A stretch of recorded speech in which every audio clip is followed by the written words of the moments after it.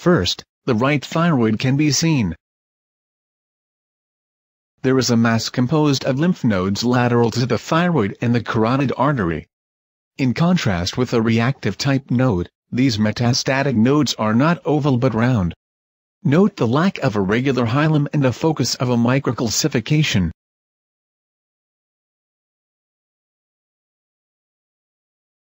There is no vascularization on Doppler mode. Two US guided aspirations are demonstrated. On the first attempt only the movement of the needle can be seen.